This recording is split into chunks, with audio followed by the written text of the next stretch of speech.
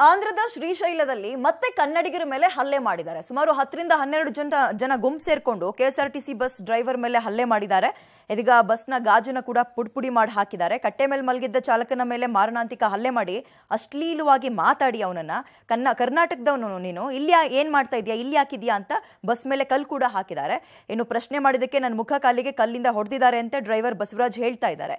ಬಳಿಕ ಸಾರಿಗೆ ನಿಯಂತ್ರಕರಿಗೆ ಆ ವಿಚಾರವನ್ನ ತಿಳಿಸಿ ಬಸ್ಗಳ ಚಾಲಕರು, ನಿರ್ವಾಹಕರು ಎದ್ದು ಬರೋ ಅಷ್ಟರಲ್ಲಿ ದುಷ್ಕರ್ಮಿಗಳು ಅಲ್ಲಿಂದ ಕಾಲ್ ಕಿತ್ತಿದ್ದಾರೆ. ಯಾವಾಗಲೂ ಒಳಗಡೆ ಮಲ್ಕೊಂಡಿದ್ರು. ನಾನು ಹೊರಗಡೆ ಮಲ್ಕೊಂಡಿದ್ದೆ. ರಾತ್ರಿ ಸುಮಾರು ಒಂದು ಗಂಟೆಗೆ ಒಂದು ಹತ್ತರಿಂದ ಹನ್ನೆರಡು ಜನ ಆಟೋದಲ್ಲಿ ಬಂದು ನಮ್ಮನ್ನು ಮಲಗಿದ್ದರನ್ನು ಎವಿಸಿ ನಮ್ಮ ಮೇಲೆ ಮಾರಣಾಂತಿಕವಾಗಿ ದಾಳಿ ಮಾಡಿರ್ತಾರೆ. ಹಾಗೆ ಬಸ್ ಸ್ಟ್ಯಾಂಡಲ್ಲಿ ಚೀರಾಟ ನಮ್ಮದು ಎಲ್ಲ ಕೇಳಿ ಪಕ್ಕದಲ್ಲಿರೋ ಬಸ್ಸಿನ ಚಾಲಕ, ನಿರ್ವಾಹಕರು ಮತ್ತು ಕಂಟ್ರೋಲರ್ ಹೊರಗಡೆ ಬಂದಾಗ ಎಲ್ಲರೂ ಓಡೋದ್ರು. ಯಾರೂ ಸಿಗಲಿಲ್ಲ. ನಮ್ಮನ್ನು ಆಂಬುಲೆನ್ಸ್ ಮುಖಾಂತರ ಸುನ್ನಿಪೇಟೆ ಕಳಿಸಿದರು. ಅಲ್ಲಿ ಪೊಲೀಸ್ನವ್ರು ತನಿಖೆ ಮಾಡಿ ನಾಲ್ಕು ಜನಕ್ಕೆ ಎರಡು ಬಿಟ್ಟಿದ್ದಿದ್ರೆ ಇದಕ್ಕೆ ನಿಲ್ಲತ್ತೆ. ಇದರ ಕಿಡಿಗೇಡಿಗಳು ನಿಲ್ಲಿಸಲ್ಲ ನಮಗೆ ಸಪೋರ್ಟ್ ಇದೆ ಅನ್ಕೋತಾರೆ. ಎರಡನೇದು ನಮ್ಮ ರಾಜ್ಯ ಸರ್ಕಾರ ಇದನ್ನು ಆಂಧ್ರ ಪ್ರದೇಶ ಸರ್ಕಾರ ಜೊತೆ ಗಂಭೀರವಾಗಿ ತಗೋಬೇಕು. ನಮ್ಮ ಚೀಫ್ ಮಿನಿಸ್ಟರ್ ನಾನು ಮಾತಾಡಿದ್ದೀನಿ ಇಲ್ಲಿ ಆಫೀಸರ್ಸ್ ಜೊತೆ ಅಂತ. ನೀವು ಆಫೀಸರ್ಸ್ ಜೊತೆ ಮಾತಾಡಿದ್ರೆ ಏನು ಪ್ರಯೋಜನ? You should have spoken at the political ಲೆವೆಲ್ಸಲ್ಲಿ government ಹಾಗಾದ್ರೆ ಈಗ ಜಗನ್ ರೆಡ್ಡಿ ಅಲ್ಲಿ ಆಂಧ್ರದ ಮುಖ್ಯಮಂತ್ರಿಗಳು ಅವ್ರು ಯಾಕೆ ಇಲ್ಲಿರ್ತಾರಂತೆ? ಕರ್ನಾಟಕದಲ್ಲಿ ಅವ್ರಿಗೆ ಆಸ್ತಿ ಇದೆಯಂತ ಇಲ್ವಂತ? ಅವ್ರು ಯಾಕೆ ಇಲ್ಲಿದ್ದಾರಂತಂಗಾರೆ ಯಾರು ಕೇಳಿದ್ರೆ ಹೇಗಿರುತ್ತದು? ಅಥವಾ ಆಂಧ್ರದ ಬಸ್ಸುಗಳು ಇಲ್ಲಿಗೆ ಯಾಕೆ ಬರುತ್ತವಂತೆ ಅಂತ ಕೇಳಿದ್ರೆ, if this is the way relationships has to be maintained ಅಂತ ಒಂದು ರಾಜ್ಯ ಸರ್ಕಾರ ಅನ್ಕೊಂಡ್ರೆ ಅದಕ್ಕೆ ತಕ್ಕಂತೆ ನೀವು ಪ್ರತಿಕ್ರಿಯೆ ಕೊಡಬೇಕು. ಇಲ್ಲ, ಅದನ್ನು ಮಾತಾಡಿ ಕೇಳಬೇಕು. ನಾಲ್ಕು ಜನಕ್ಕೆ ಹೆಡೆಮುರಿ ಕಟ್ಟಿದ್ರೆ ನಿಲ್ಲತ್ತೆ. ಸಿ, ಚಪ್ಪಾಳೆ ಹಿಂಗೆ ಹೊಡೆದ್ರೆ ಹಿಂಗೂ ಹೊಡಿಬೋದು ಅಂತ ಅವ್ರಿಗೂ ಗೊತ್ತಿರಬೇಕಲ್ಲ, ಅದು ಗೊತ್ತಿರುತ್ತಲ್ಲ. ಅಥವಾ ಯಾರೋ ಕಿಡಿಗೇಡಿಗಳು ಮಾಡ್ತಿರೋ ಕೃತ್ಯ ಆದರೆ ಐಮ್ ನಾಟ್ ಬ್ಲೇಮಿಂಗ್ ಆಂಧ್ರನ್ ಬ್ಲೇಮ್ ಮಾಡೋದು ಇನ್ನೊಬ್ಬರನ್ನ ಬ್ಲೇಮ್ ಮಾಡೋದಲ್ಲ ಅಲ್ಲಿ. ಕಿಡಿಗೇಡಿಗಳು ಮಾಡಿ ಸುಮ್ಮನೆ ಪುಕಾರೆ ಕ್ಷಣ ಅಂತಾರೆ ಮಾಡ್ತಾ ಇದ್ದರೆ ಎರಡು ಬಿಟ್ಟರೆ ಸರಿ ಹೋಗ್ತಾರೆ. ಬುದ್ಧಿ ಕಲಿಸಿ ಅಷ್ಟೇ. ಇದು ಹಿಂಗೆ ಒಡ್ಸ್ಕೊತಾ ಕೂತಿರ್ತೀರಾ? ಇನ್ನೊಂದು ಸರಿ ಇದೇ ಥರದ ಘಟನೆ ಆದರೆ the chief minister should be held responsible ಆಗ ನಮ್ಮ ರಾಜ್ಯದವರು. ಪ್ರೊಟೆಕ್ಟ್ ಮಾಡೋಕ್ಕಾಗದೇ ಇದ್ರೆ ತನ್ನ ಸಿಟಿಸನ್ಸನ್ನು ಸರ್ಕಾರ ಇರ್ಕೂಡ್ದು ರಾಜ್ಯದಲ್ಲಿ ಲೌಡ್ ಸ್ಪೀಕರ್ ದಂಗಲ್ಗೆ ಇನ್ನೊಂದು ಹಂತ. ಎಂಟನೇ ತಾರೀಕು ಧರಣಿ ಎಲ್ಲ ಮಾಡ್ತೀವಿ ಸಚಿವರು ಶಾಸಕರ ಮನೆ ಮುಂದೆ ಅಂತೆಲ್ಲ. ಅದಕ್ಕೆ ಮುಸ್ಲಿಮ್ರದ್ದು ಯಾವುದೇ ಕಾರಣಕ್ಕೆ ಮೈಸೀದ್ ಮಸೀದಿಯಿಂದ ಮೈ ಕೇಳಿಸಲ್ಲ ಮತ್ತೇನು ಮಾಡ್ತಿರೋ ಮಾಡ್ಕೊಳ್ಳಿ ಅಂತೆಲ್ಲ ಹೇಳ್ತಾರಂತೆ ಹಾಗೆ ಪದ ಏನಾರು ಅವ್ನು ಬಳಸಿದ್ರೆ ಯಾರಾಗಿರಲಿ ಆ ಮುಸ್ಲಿಂ ಮುಖಂಡ? Either is irresponsible or an arrogant fellow ಮಾತಾಡಿದ್ದಾರೆ ಸರ್. ಹಾಗೆ ಪದ ಬಳಸಿದರೆ. ಯಾಕೆ ಅಂದರೆ ಏನು ಮಾಡ್ತಿರೋ ಮಾಡ್ಕೊಳ್ಳಿ ಅಂತ ಹೇಳೋಕ್ಕೆ ನೀವೇನು ಮೇಲಿಂದ ಇಳಿದು ಬಂದುಬಿಟ್ಟಿದ್ದೀರಾ ಮಹಾರಾಜರ? ಇದು ಹೈಕೋರ್ಟ್ ಆದೇಶ. I don't blame a Muslim ಲೀಡರ್ನೋ ಹಿಂದೂ ಲೀಡರ್ಗಳನ್ನೋ ಇದರಲ್ಲಿ. You have to blame the government ಇದರಲ್ಲಿ.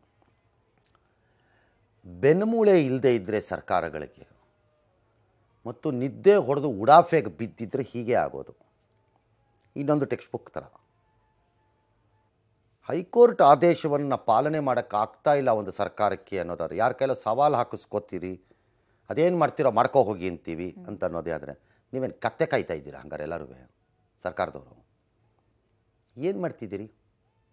ಅಥವಾ ನೀವು ಕೊಟ್ಟಿರೋ ಆದೇಶದ ಪ್ರಕಾರ ಏನು ಪಾಲನೆ ಆಗಿದೆ ಅಂತನಾದ್ರು ಹೇಳಬೇಕಲ್ಲ? ಅದನ್ನು ಹೇಳದಿದ್ರೆ ಹೇಗೆ? ನನ್ನ ಪ್ರಕಾರ ಸರ್, ಕೋರ್ಟಿನ ಆದೇಶ ಏನು ಪಾಲನೆ ಆಗಿದೆ ಅದು ಆಗಬೇಕು. ಏನು ಮಾಡ್ತಿರೋ ಮಾಡ್ಕೊಳ್ಳಿ ಅಂತ ಎರಡೂ ಕಡೆಯಿಂದ ಯಾರು ಒಬ್ಬರು ಹೇಳಿದ್ರೆ ಸರ್ಕಾರ ಸುಮ್ಮನೆ ಕೇಳಿಸ್ಕೊಂಡು ಕೂತಿರ್ತೀರಾ? ಅದನ್ನು. ಕೋರ್ಟ್ ಆದೇಶವನ್ನು ಬಾಯಿ ಮುಚ್ಕೊಂಡು ಪಾಲನೆ ಮಾಡು ಅಂತ ಎರಡೂ ಕಡೆಗೆ ಹೇಳಬೇಕು. ದೇವಸ್ಥಾನನಾದರೂ ಸರಿ ಮಸೀದಿ ಆದರೂ ಇಳಿಸಲ್ಲ ನಮ್ಮ ತಾತನ ಮನೆ ಆಸ್ತಿ ಅಂತ ಯಾರು ಅನ್ಕೊಂಡ್ರೆ ಗುಡಿ ಮೇಲಿರೋದು ಇಲ್ಲಿರೋದು ಅಂತಂದರೆ ಹೋಗಿ ಇಳಿಸ್ಬೇಕು. ಈಗೇನು ಮಾಡ್ತೀಯಾ ಮಾಡು ಅಂತ ಕೇಳಬೇಕು ಅವನನ್ನು. ದಬ್ಬಾಳಿಕೆ this is a problem of a of a ಗೌರ್ನಮೆಂಟಿನ will ಪವರ್ಗಳು ಸತ್ತೋದ್ರೆ ಹಿಂಗೆ ಆಗೋದು. ಎಸ್ ಮುಂದಕ್ಕೆ ಹೋಗೋಣ. ಇನ್ನು ಬೆಂಗಳೂರಿನಲ್ಲಿ ನಿನ್ನೆ ಸಂಜೆ ಧಾರಾಕಾರ ಮಳೆಯಾಗಿದೆ. ಮಳೆಯಾದ ಪರಿಣಾಮ ಕೆಲವೊಂದು ಕಡೆ ಮರಗಳು ಕೂಡ ಬುಡಮೇಲಾಗಿದೆ.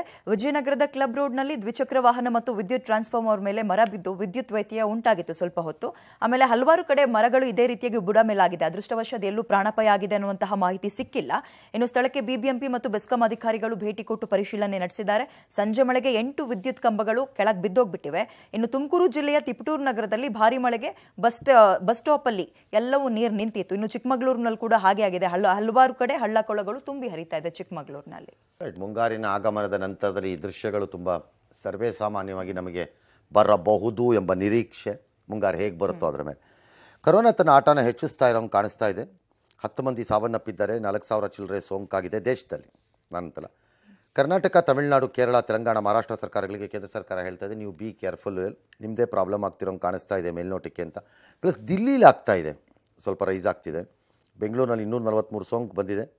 ರಾಜ್ಯದಲ್ಲಿ ಇನ್ನೂರೈವತ್ತಿದೆ ನಮ್ಮ ನಮ್ಮ ಎಚ್ಚರಿಕೆಯನ್ನು ನಾವಿರೋದು ಉತ್ತಮ ಅಷ್ಟೇ.